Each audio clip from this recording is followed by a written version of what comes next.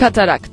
Göz bebeğinin arkasında bulunan ve görmeyi sağlayan doğal göz merceğinin saydamlığını kaybederek matlaşması hastalığı.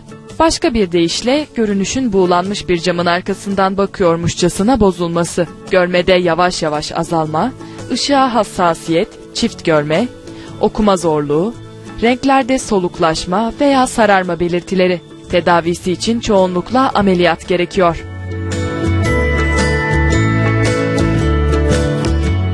Dünya Göz Hastanesi Sosyal Sorumluluk Projesi çerçevesinde SGK'lı hastalardan Amerikan FDI kurumu onaylı cihazlarla kataraklı hastaların muayene ve ameliyatları için hiç fark almadan ücretsiz tedavi uygulamasını başlattı.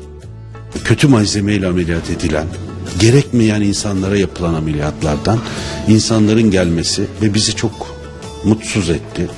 Biz e, Sosyal Güvenlik Kurumu hastalarımıza katarak ameliyatlarımızı yapamıyorduk. Belli bir sayıda yapıyorduk. Daha çok yurt dışından getirdiğimiz hastalara yapıyoruz ve tabii ki sigortaya bağlı olmayan özel sigortalara yapıyoruz.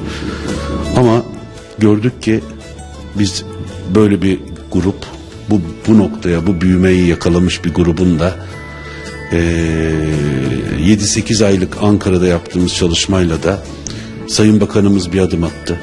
Devlet bir adım attı. Biz böyle bir kararı aldık. Artık eee, kolay kolay insanlar karneleriyle bugün bu hastaneye karnelileri gelip burada tedavisini olacaklar katarak ameliyatını. Bugün bu hastanede dün itibariyle birisi gelip katarak ameliyatı olsaydı bir buçuk milyon liranın üstünde bir para ödeyecekti. Bir buçukla iki buçuk milyon arası. Ama şimdi karnesiyle gelecek bu ameliyat olacak ve bu insanlarımıza çok büyük bir hizmet olacak. Ben buna dünya gözün fedakarlığı diye bir e, şey demek istiyorum.